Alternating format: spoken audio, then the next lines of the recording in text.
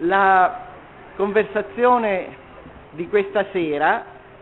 ha, eh, non per caso naturalmente, lo stesso titolo di questo volume pubblico, privato, comune, che è un volume curato dalla nostra ospite Laura Pennacchi e raccoglie una nutrita serie di saggi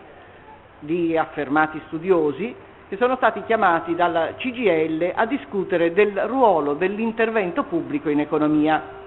E Laura Pennacchi infatti, per chi non la conoscesse, è un economista, è stata parlamentare e sottosegretaria al Tesoro con il ministro Carlo Azeglio Ciampi, che infatti ha scritto una presentazione per questo libro. La mia domanda a Laura Pennacchi sarà questa che cosa ha a che fare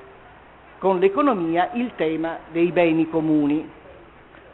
Noi ne abbiamo già sentito parlare molto lungamente in queste due dense giornate, abbiamo sentito la voce dei giuristi. Per la verità anche i giuristi hanno smarrito per qualche secolo forse il significato di beni comuni. Avete sentito parlare da Ugo Mattei delle terre comuni che una volta esistevano in molte parti d'Europa, della vicenda delle enclosure del Regno Unito che sottrassero all'uso comune le terre dei contadini. Ma questo è un fenomeno che c'è stato in diverse parti d'Europa, anche in Italia. In Sardegna la legge delle chiudenda ha fatto un'operazione del genere sottraendo le terre comuni all'uso,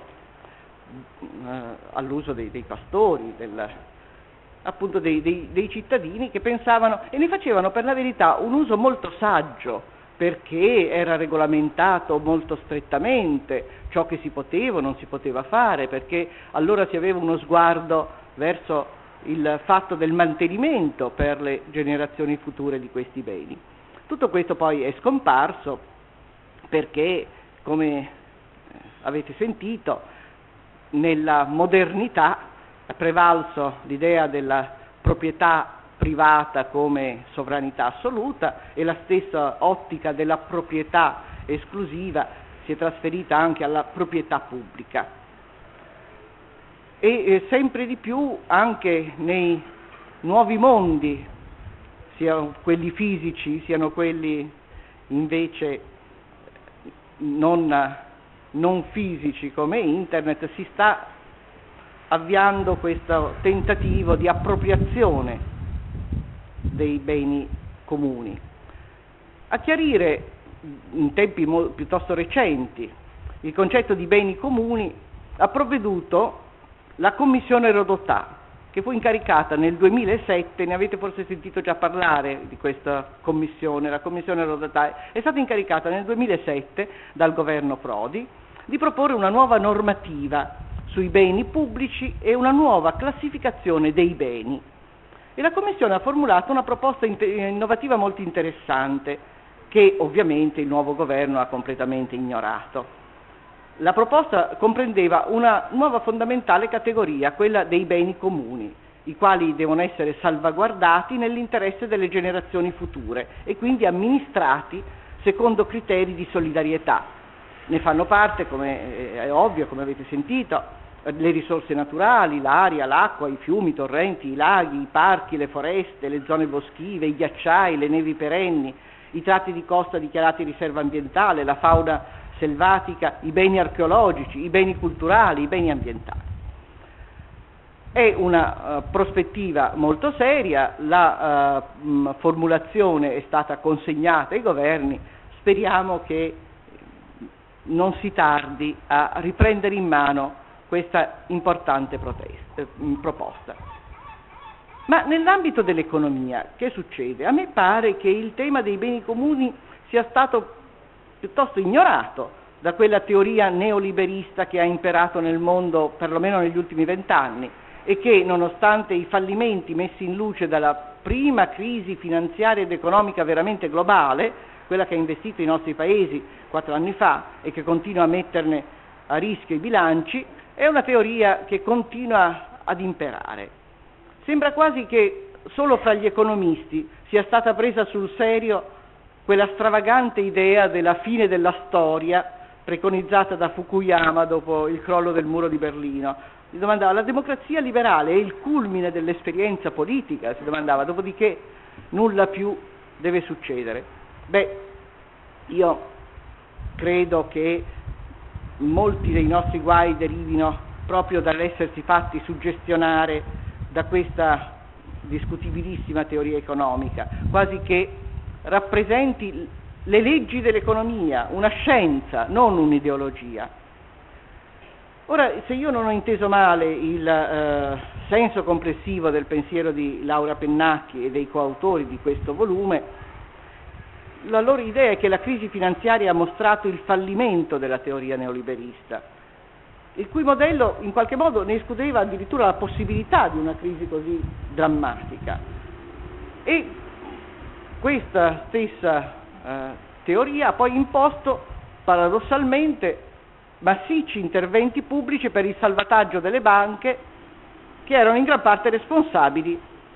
della vicenda precedente, della stessa crisi, e senza che si sia fatto strada un doveroso ripensamento di quel modello, che è insieme responsabile della crisi e incapace di trovarne adeguati rimedi. Ora questi rimedi potrebbero invece, e dovrebbero forse, essere ricercati sulla base di una complessiva riflessione sulle ragioni della crisi, nelle quali si intrecciano crescita delle disuguaglianze, ce ne ha parlato fin da ieri il professor Prodi,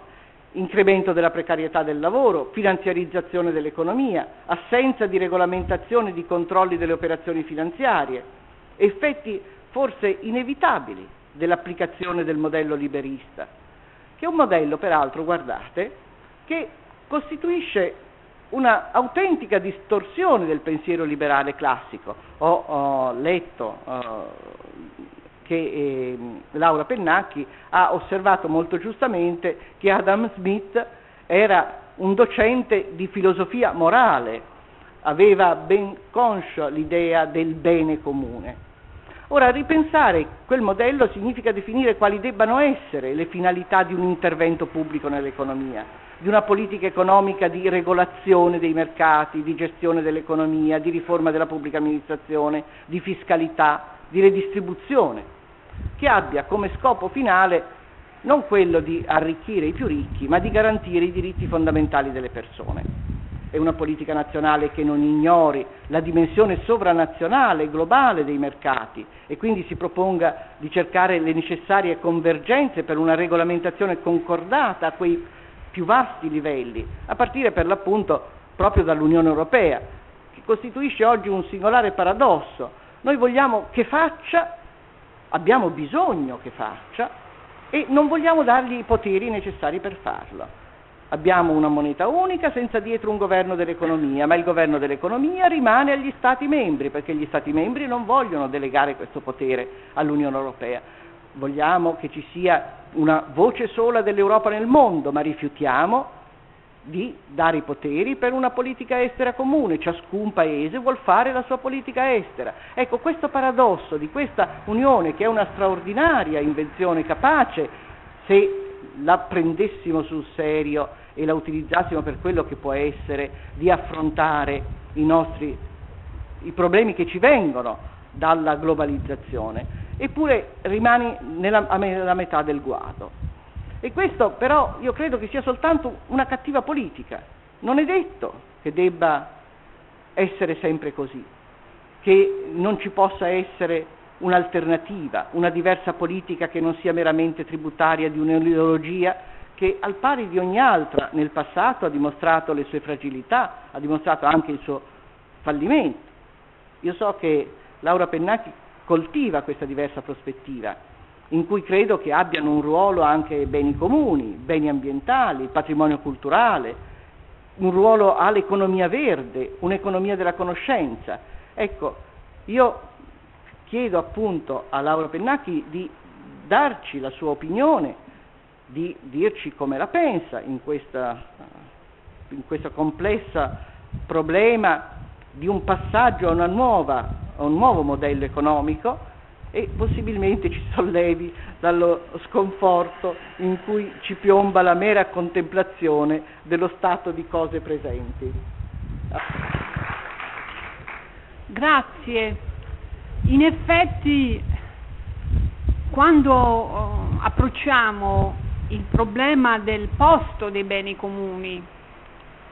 e dell'interazione pubblico-privato comune auspicabile per fare posto ai beni comuni, scienza della disposizione dei beni, dei beni scarsi, della scarsità, si ritiene scienza della disposizione, della produzione, della distribuzione dei beni scarsi, è nata con Adamo Smith, con Riccardo, con Carlo Marx, come economia classica, con una enorme attenzione al problema dei beni comuni, e si è trasformata in una scienza che ha espulso da sé la problematica dei beni comuni, trasformandosi soltanto in una scienza che eh, disciplina la produzione e la distribuzione dei beni solo a partire dalla proprietà privata, con una ipostatizzazione della proprietà privata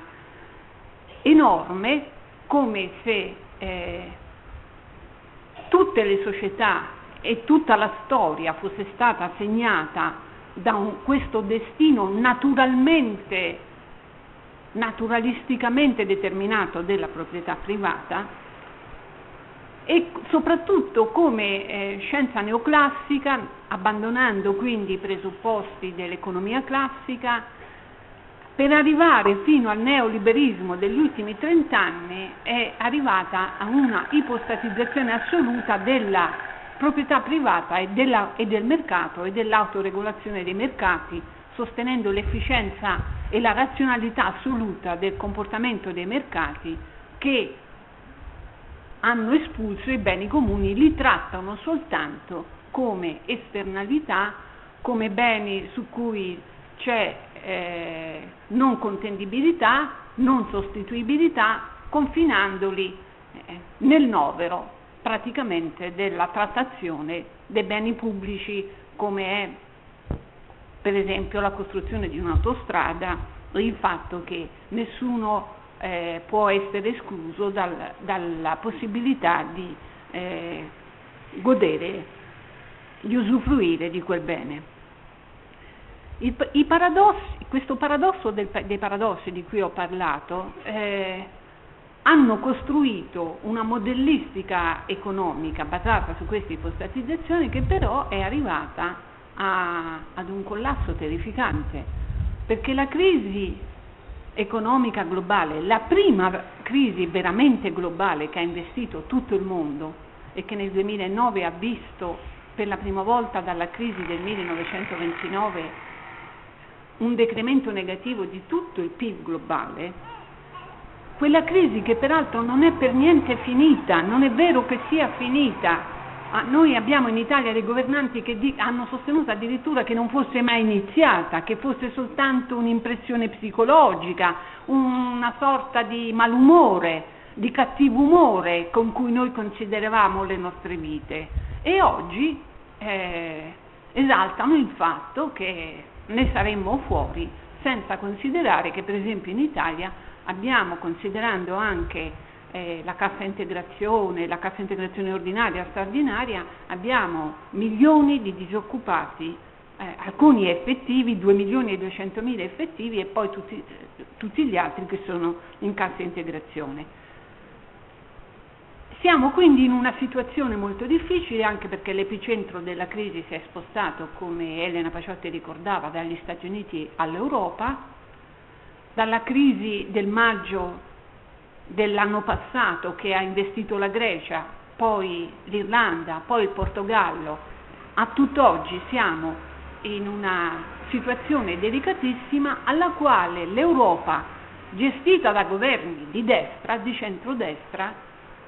contravvenendo quindi alla sua ispirazione fondamentale, che è un'ispirazione di progresso, sta eh, ora rispondendo, adottando politiche di austerità generalizzate che rischiano di aggravare ancora di più i problemi recessivi delle economie più deboli e di non trasformare eh, gli squilibri che sono all'interno dell'Europa, che vedono la Germania e i paesi affini alla Germania, l'Olanda e i paesi dell'Est Europa, e però tutta l'altra area, compreso l'Italia e i paesi dell'area mediterranea, afflitti da, da squilibri, squilibri delle bilance dei pagamenti, squilibri eh, degli assetti produttivi molto seri che rischiano di eh, costituire un'ipoteca molto forte sulla ripresa economica che peraltro nella misura in cui sta avvenendo ci dicono i, i nuovi, le nuove vestali dell'ortodossia economica eh, dobbiamo accettare come nuova naturalità, sempre si torna a questo concetto del naturalisticamente determinato, la jobless recovery, una ripresa senza lavoro, senza rendersi conto che dicendo questo dicono un'enormità perché pongono in questione perfino, io dico, e con me lo dicono eh, altri studiosi più autorevoli di me,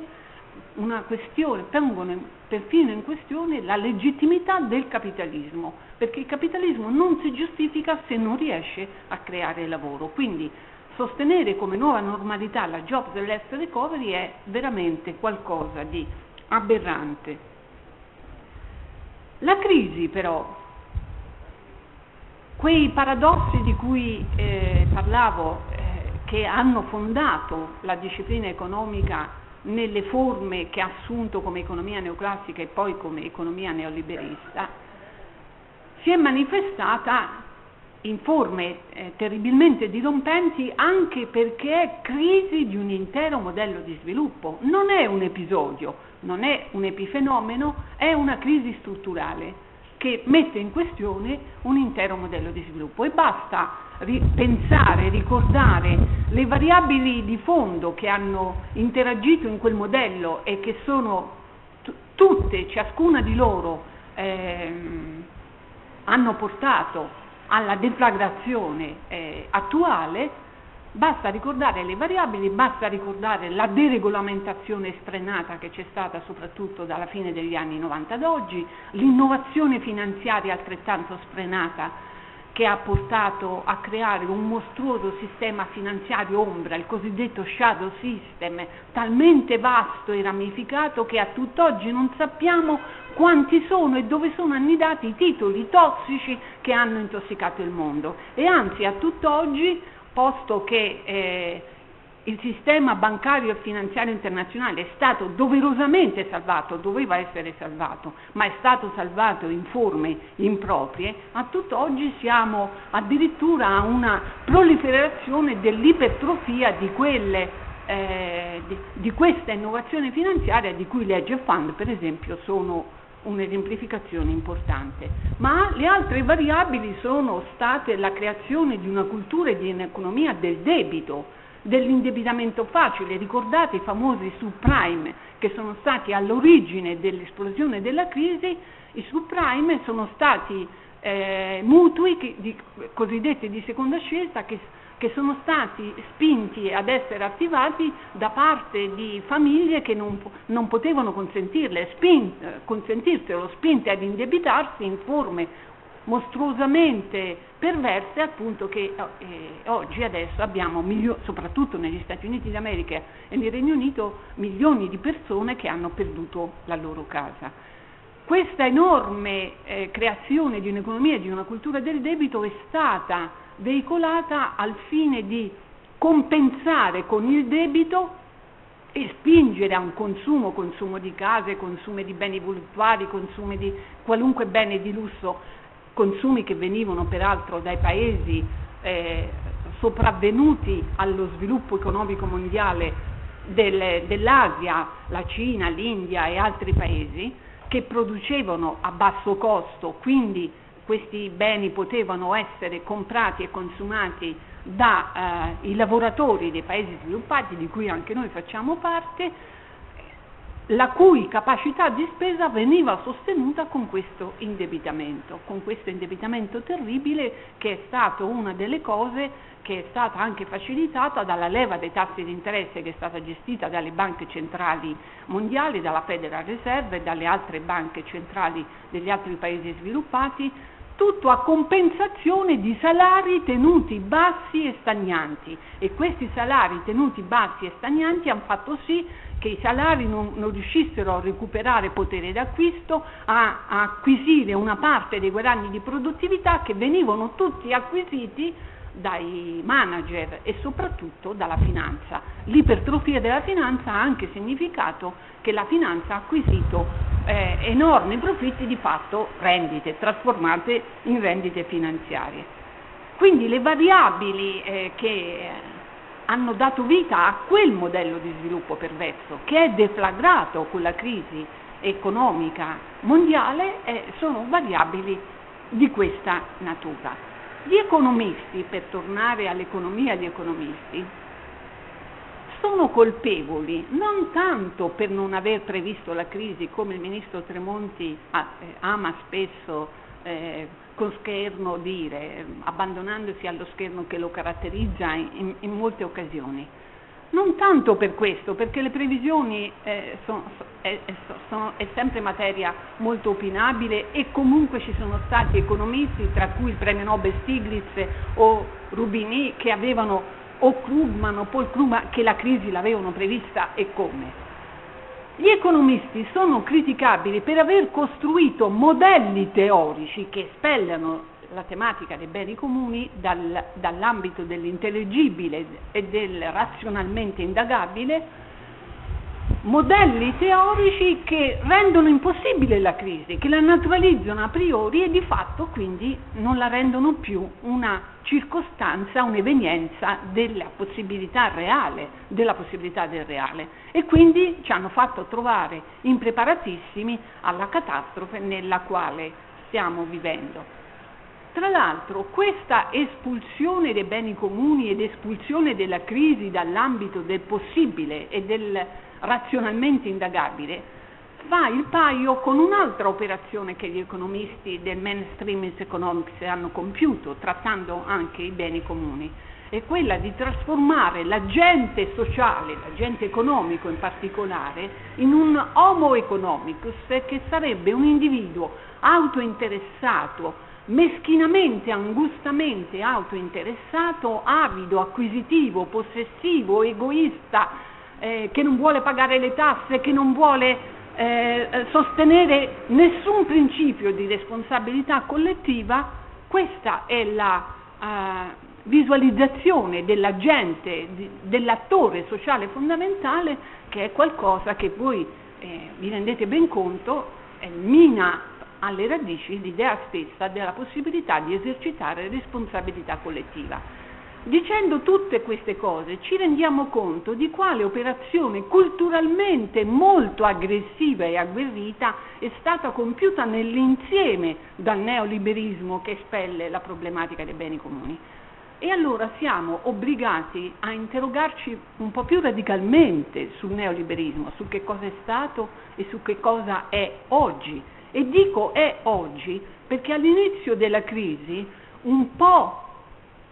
sommariamente, alcuni hanno pensato, alcuni soprattutto del, di uno schieramento di centrosinistra, che il neoliberismo fosse finalmente finito, che il neoliberismo fosse in resa, si fosse arreso e fosse in resa. Non è affatto così e noi il neoliberismo lo ritorna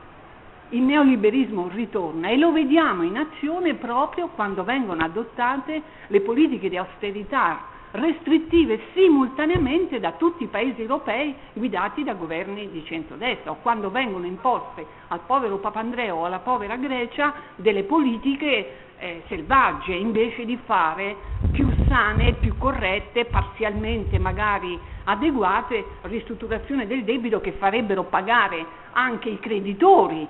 una parte della crisi a cui appunto si va incontro. Quindi c'è un'operazione culturale eh, molto forte che oggi ci viene riproposta riproponendoci nuovi paradossi. Per esempio l'intervento pubblico,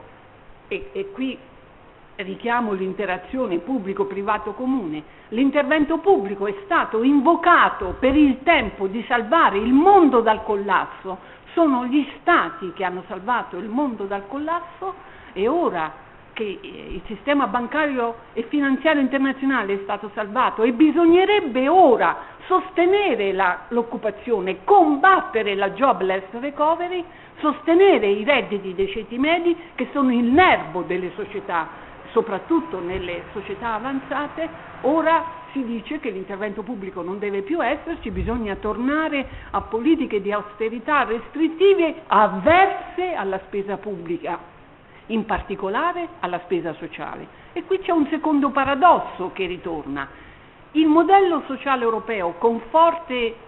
con forti sistemi di welfare, con forti sistemi di protezione sociale, ha mostrato nel, nella, nella, crisi, soprattutto nei primi mesi dell'esplosione della crisi, una sua straordinaria superiorità rispetto al modello anglosassone. Pensate che nel febbraio del 2009, nei primi mesi della crisi, l'Argentina è stata costretta a nazionalizzare i dieci fondi pensione privati con cui aveva fatto nel 1994 la privatizzazione della sua social security. Privatizzazione della social security pubblica che cosa vuol dire? Vuol dire affidare il risparmio previdenziale ai mercati finanziari. Quando i mercati finanziari crollano, crollano, crolla anche il risparmio previdenziale e l'Argentina si è trovata in una situazione nella quale non avrebbe potuto più pagare nemmeno le pensioni in essere, sicché ha dovuto nazionalizzare i 10 fondi pensione privati. E Obama nel primo anno del suo mandato da una parte ha salvato l'industria dell'auto perché si è trattata di una vera e propria nazionalizzazione dell'industria dell'auto per quanto transitoria e l'ha salvata per salvare l'industria dell'auto, cosa che i, go- i, nostri governanti rispetto alla Fiat si sono ben guardati dal compiere alcunché nel senso di impegnare la Fiat a, a, a investimenti in Italia. Obama salva l'industria dell'auto, la salva perché vuole salvare l'industria in quanto tale, ma anche perché per i lavoratori dell'auto, essendo americani, essendo previdenza una previdenza di fondi pensione aziendali, se non ci fosse stato quel salvataggio, i fondi pensione della Chrysler non avrebbero avuto pensioni, eh, risorse per pagare le pensioni e i fondi sanitari assicurativi aziendali non avrebbero avuto risorse per pagare la sanità aziendale e Obama nel primo anno del suo mandato ha concentrato enormi sforzi per dotare il popolo americano di una riforma sanitaria ispirata all'universalismo dei sistemi dei modelli sociali europei, anche se ha dovuto fare i conti con, eh, con dei conflitti terribili e con la, l'opposizione dei Tea Party, di, questi, eh, di queste strutture altro che aggressive che stanno riorganizzando il neoliberismo e il neoconservatorismo su scala mondiale. Adesso ci si viene a dire che la prima spesa che deve essere tagliata è la spesa sociale e quindi questo è un altro paradosso inaudito. Ma dicevo, entriamo più dettagliatamente su che cos'è il neoliberismo, su che cosa è stato e che cos'è. Il neoliberismo è soprattutto tre cose. Finanziarizzazione estrema dell'economia e di questo ho già accennato e Insisto, ma insomma non ci torno sì.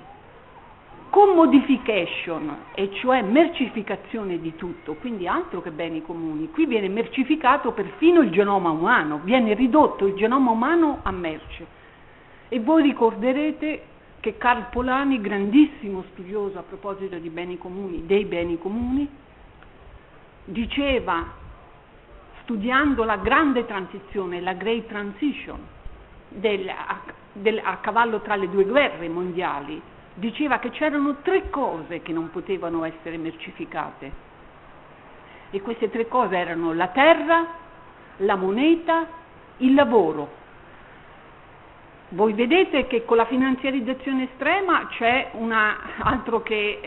commodification e mercificazione della moneta, la moneta proprio non esiste più come, come bene non mercificato. La terra siamo di fronte a una mercificazione che addirittura giunge a metterne, a metterne in questione la sopravvivenza del pianeta, perché siamo con, le, con tutte le problematiche del, dell'inquinamento, della riduzione della biodiversità, dell'aggressione alle foreste, dell'aggressione all'acqua, eh, eh siamo,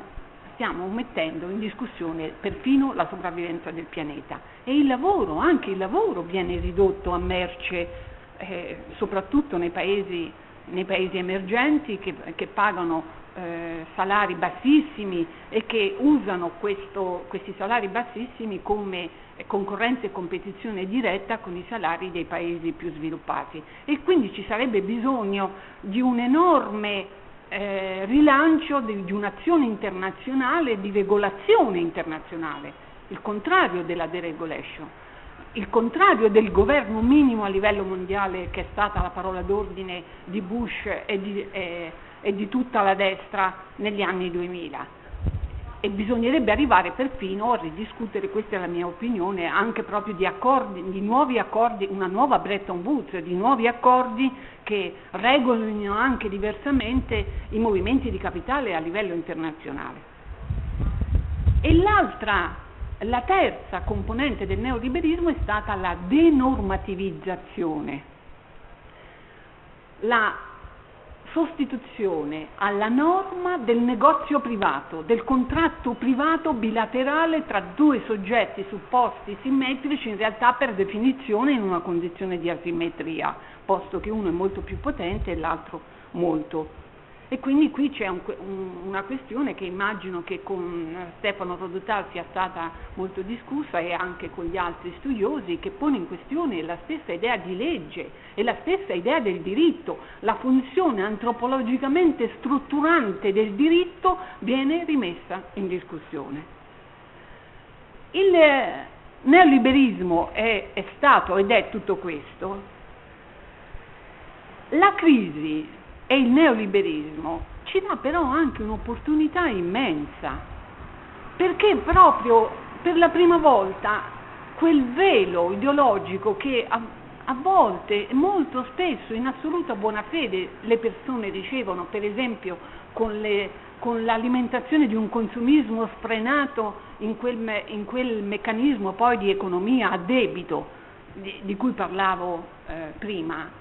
eh, eh, ci sono delle tecniche raffinatissime con cui viene esercitata questa seduzione di massa, che è poi un altro degli, de, delle tecniche che viene usata anche a livello politico. Il, eh, il meccanismo della seduzione, della seduzione di massa, della manipolazione delle coscienze, è un meccanismo che noi sotto i nostri occhi ne vediamo tutti gli effetti negativi. Ma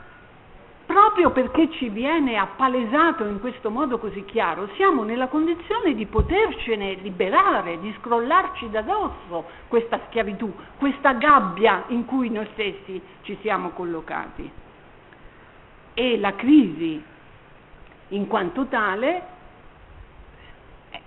ci indica con, est- con assoluta chiarezza quali sono le vie alternative che potremmo e dovremmo seguire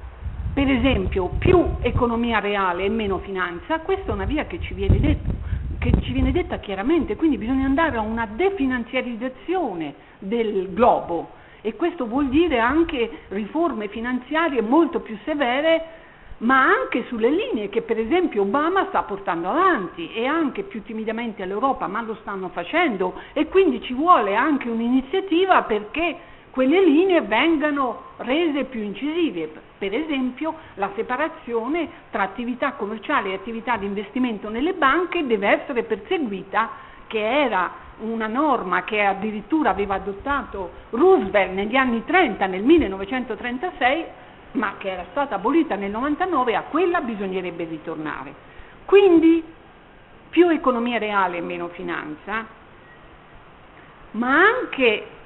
più economia reale di natura qualitativamente diversa. Noi abbiamo il problema di rilanciare la crescita, ma in realtà il problema è duplice, rilanciare la crescita, ma mentre la rilanciamo cambiarne la natura e la qualità della crescita e quindi fare tutta una serie di cose che sono assolutamente alla nostra portata. La green economy, per esempio, usare gli spazi urbani, gli spazi di vita, la ricreazione di spazi collettivi di, di discussione, di riflessione. Per questo sono così affascinanti queste, questi, eh, questi agorà come questa di stasera, come quelle che sono, che sono state create qui in questi giorni, perché preludono alla possibilità di fare di questa cosa in fondo assolutamente talmente immateriale che è perfino spirituale, diciamo così, lo, lo scambio di, di, visioni, di idee, di valori, la riconferma dell'importanza di grandi valori, fare di tutto questo un, un'occasione di sviluppo che deve evidentemente cambiare anche la possibilità di essere misurato con indicatori diversi che non siano soltanto il PIL, che non siano solo economicistici come l'economia neoclassica e neoliberista pretende di essere, ma dobbiamo tornare alle visioni che erano addirittura di Adam Smith, l'idea che ci, fosse, eh, che ci fossero valori, virtù eh, che devono essere comprese e perfino l'aspirazione alla felicità nella eh, produzione economica di, un'economia molto più basata sulla qualità, questo diventa molto importante. Una seconda linea, anzi un, una terza linea di, per costruire un nuovo modello di sviluppo è sicuramente creare più spazi extra mercato e fare più spazio ai beni comuni. Ci sono tantissime cose che, non, che il mercato non può assolutamente soddisfare, l'amicizia, l'amore, eh, la cultura, il desiderio di scambio, la relazione, le, la simpatia, la felicità per l'appunto. E, e tutte queste cose vanno sostenute sviluppate, dentro questo si può anche ben pensare che l'altruismo, che in realtà è una spinta molto più forte di quello che normalmente non si consideri, le società non si reggerebbero se non ci fosse un enorme scambio altruistico che silenziosamente avviene tutti i giorni e ci lega l'un l'altro e ci rende cittadini e concittadini per l'appunto. Io non penso che sia questa la strada da seguire e voglio dire con chiarezza, penso che qui nella mia opinione ci sia anche una distinzione tra le cose che pensano i miei amici molto eh, sostenitori della problematica dei beni comuni in termini non soltanto di eh, proposizione di una problematica ingiustamente negletta o addirittura eh, espulsa, ma proprio come se potesse essere la risoluzione di tutto, la panacea che a questo punto risolverà tutti i problemi e sostituisce integralmente anche il pubblico e anche il privato. Io non penso che eh, le cose possano andare così e penso anche che in questa visione del comune che sconfina quasi con un comunitarismo endogamico eh, stretto, chiuso, c'è il rischio di riproporre nuove esclusioni. Eh, e c'è il rischio di riproporre anche eh, un personalismo eh, che io che sostengo il grande valore antropologicamente strutturante del diritto guardo con enorme diffidenza. E non per caso nel libro bianco di Sacconi c'è un abbondare di parole come persona, comunità, famiglia, c'è uno sproloquio terrificante, non è citata nemmeno una volta la parola cittadinanza. Quindi, concludo per davvero, io penso che tutte le cose che ho detto a proposito del rilancio di un nuovo modello di sviluppo richiedono un ruolo fortissimo del pubblico, richiedono che si dia grande spazio agli spazi extramercato e ai beni comuni, ma il ruolo del pubblico come guida, come indirizzo, come orientamento, come amministrazione, come fare, come azione, come stimolo, che non è soltanto regolazione, tutte queste parole che ho usato eh, non sono sintetizzabili solo nella parola regolazione e qui c'è anche un'autocritica che il centro-sinistra a mio parere deve fare perché il neoliberismo di cui vi ho parlato all'inizio è, eh, ha visto troppa condiscendenza, se non vera e propria connivenza, anche da parte delle forze del centro-sinistra, soprattutto nella versione della terza via di Tony Blair. Qui c'è una, un balzo in avanti da fare, che è anche un balzo di, di inventiva culturale, dobbiamo riferirci per esempio alla grande creatività istituzionale che New Deal di Roosevelt seppe mettere in azione, chiamando una pluralità di attori a creare uno straordinario progetto di civilizzazione per gli Stati Uniti di allora. Io penso del resto che la mediazione, la mediazione istituzionale, per cui il diritto è fondamentale, la mediazione terza, la terzietà della mediazione, sia fondamentale per non ricadere in una sorta di neofeudalesimo che vedo qualcuno, anche studioso del diritto, addirittura propone come, come, via positiva. Io invece penso che neofeudalesimo significa tribalizzazione, significa neotribalismo. Io penso a un pubblico quindi come mediazione terza, ma penso anche a un pubblico come sfera pubblica, alla Hannah Arendt, e cioè costruzione dell'opinione comune, argomentazione, dare spazio all'argomentazione piuttosto che alla seduzione, alla manipolazione e all'invettiva e all'aggressività. Argomentazione, dialogo comunicativo, intersoggettività, queste sono eh, le cose fondamentali che vanno assolutamente conservate come eredità che ci vengono dall'illuminismo e che noi dobbiamo declinare in avanti producendo uno sforzo di innovazione culturale analogo a quello che Campolani suggeriva dove si dovesse compiere negli anni 50 a proposito della Great Transformation di allora. Io quindi per concludere davvero penso che ci vuole molta audacia normativa e cognitiva nel modellare questo pubblico, dotarci di questa audacia cognitiva e normativa, re- riconoscendo il fortissimo aggancio, l'eredità con l'illuminismo da cui veniamo, oggi ci mette nella condizione di ripartire per creare, ripartire da un nuovo umanesimo per creare un nuovo umanesimo che è assolutamente la sfida che è davanti a noi ma che è anche alla nostra portata. Grazie.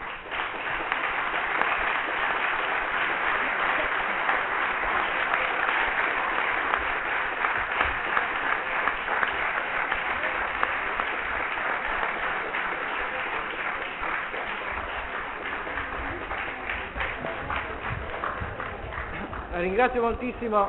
Laura Pennacchi che non solo ha risposto alla no- mia domanda, ma credo che eh, ci ha indicato anche che cosa si può fare, come possiamo uscire dalle nostre difficoltà. Eh, ci sono, abbiamo un po' di tempo forse prima della cena, quindi se ci sono delle domande. Penso che il liberismo ha potuto trovare questo enorme spazio perché eh, lei ha parlato ehm, eh, dell'esperienza dell'illuminismo.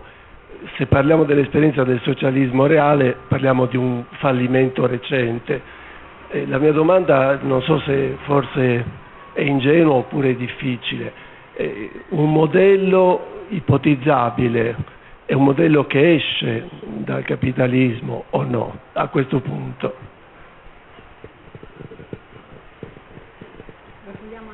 Vediamo se ci sono delle altre domande. Questa è una bella cosa.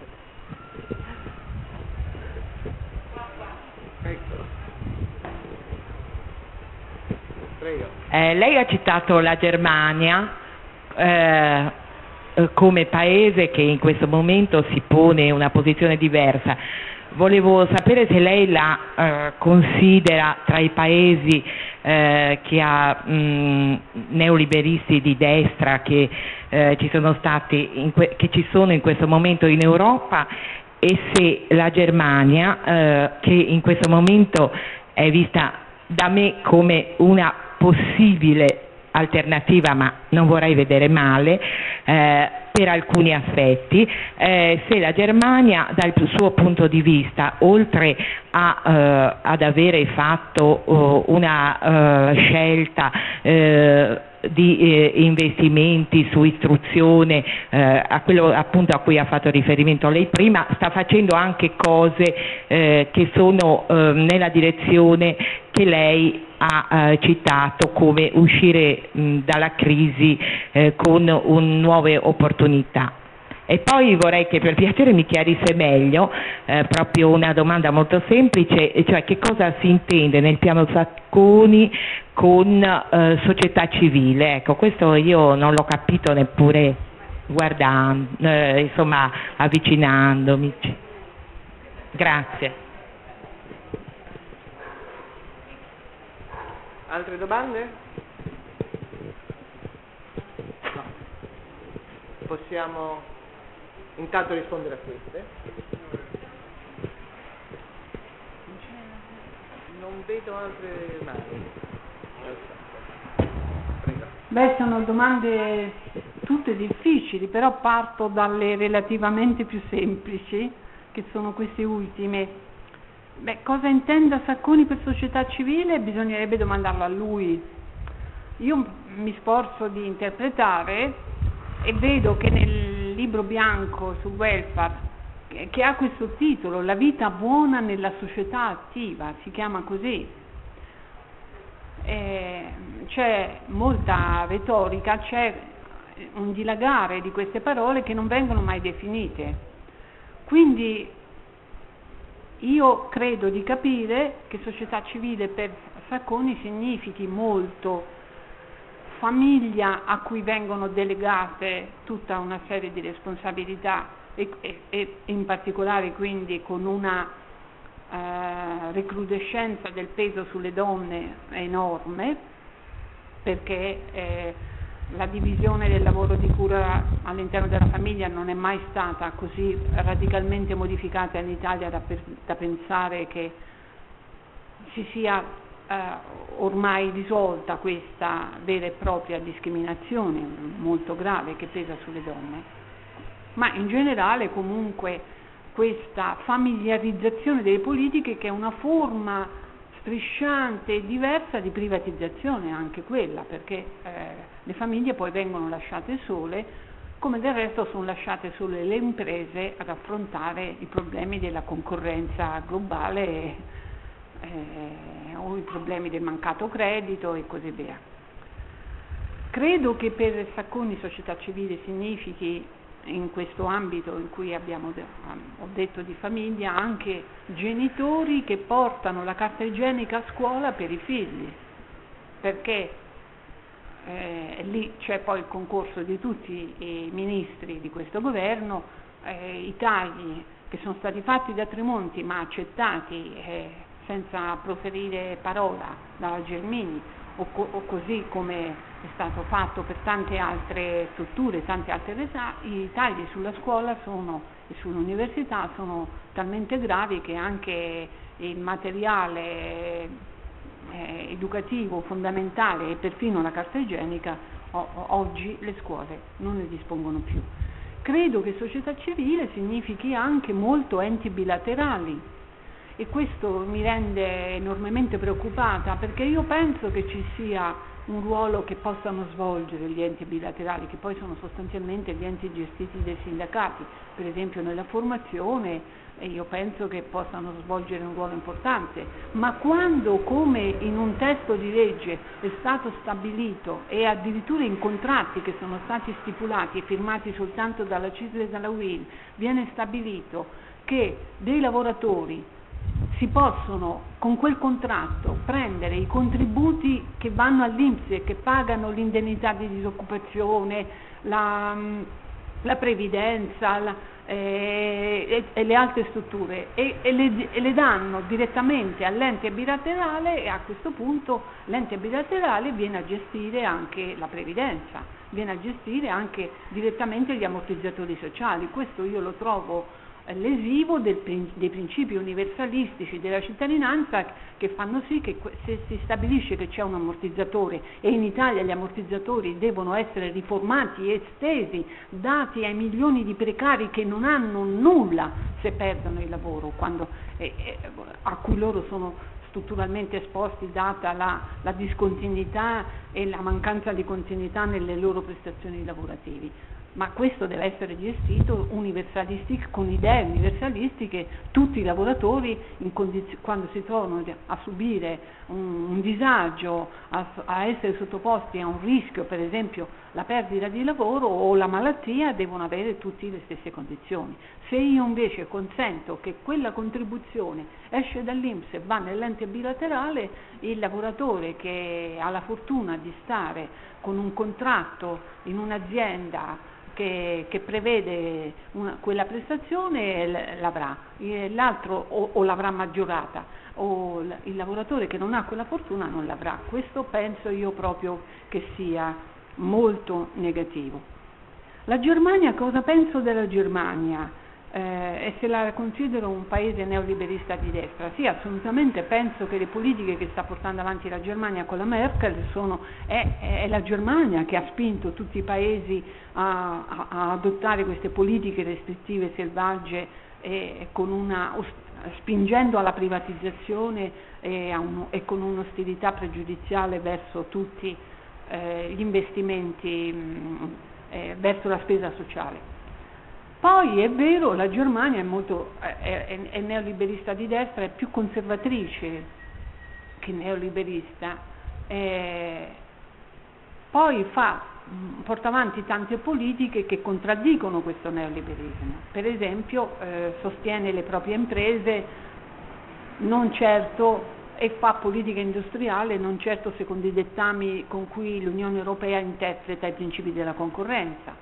ma questo no, non è di per sé indicatore di, di una soluzione, perché il neoliberismo non, non, è mai esistito storicamente e spazialmente in forme pure, è sempre esistito in forme spurie, combinando tutta una serie di elementi diversi. E per esempio Tremonti, che io considero un neoliberista di destra, è uno che combina privatizzazione, tagli selvaggi che riversa soprattutto sugli enti locali e la finanza decentrata, in modo che i cittadini se la prendano col loro sindaco o col presidente di regione invece che con Tremonti direttamente. Ma eh, sono tagli terrificanti che fanno arretrare il perimetro pubblico e tuttavia eh, Tremonti fa convivere questi tagli con un decisionismo colbertiano che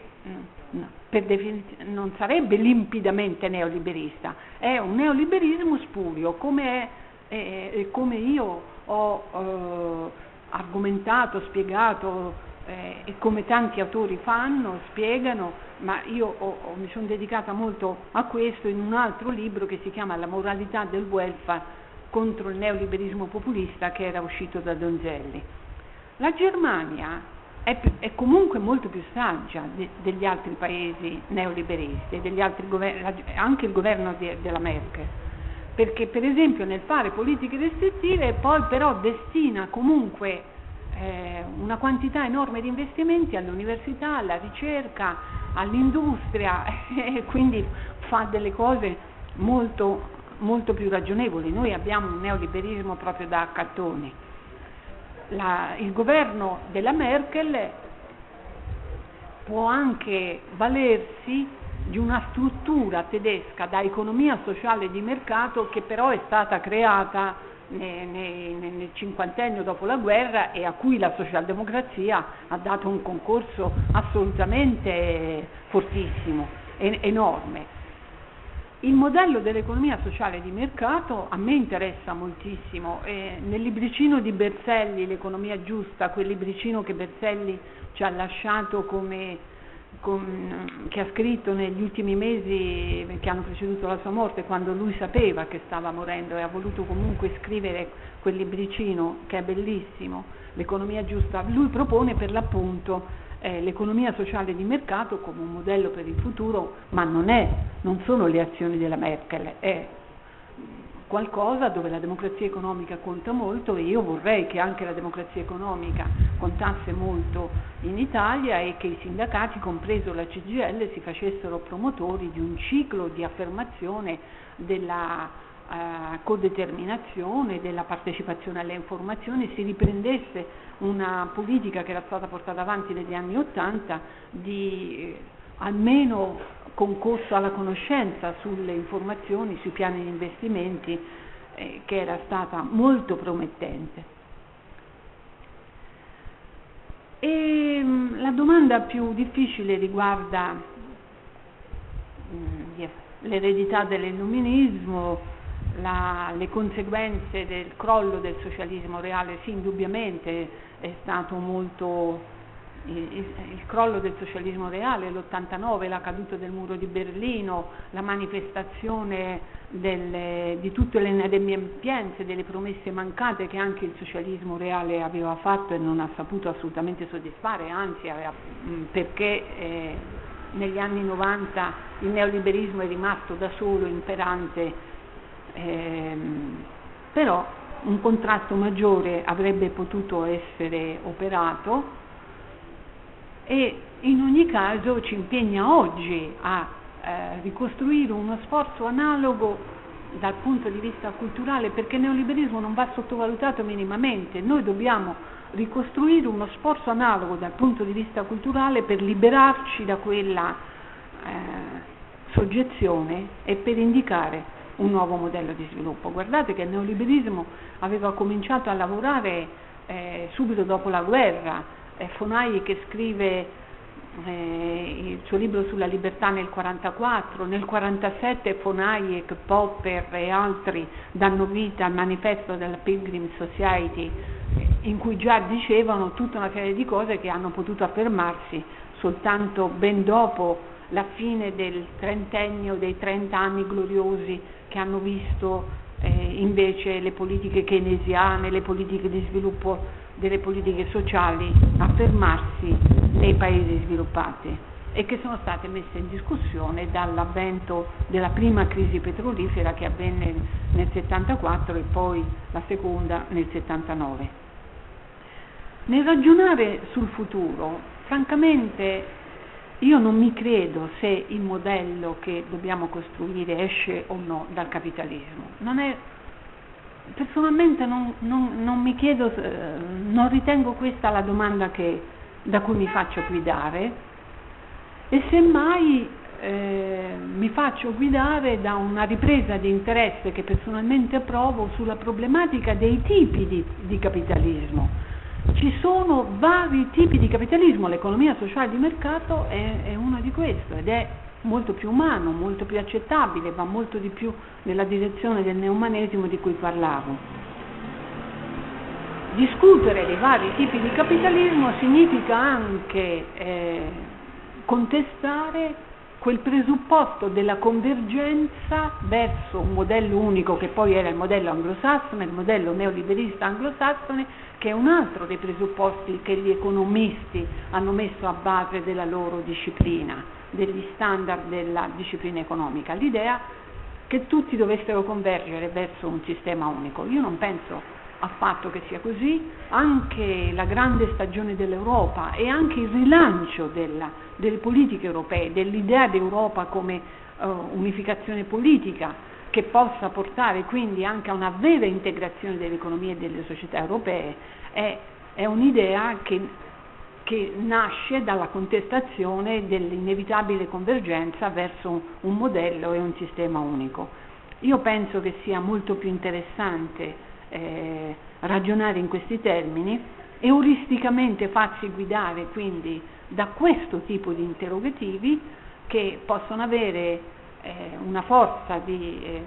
ricchezza, di mobilitazione delle risorse anche argomentative che sono dentro ciascuno di noi, dentro le nostre interiorità che però vogliamo sviluppare all'esterno, io penso che questo possa essere molto fruttuoso. Grazie.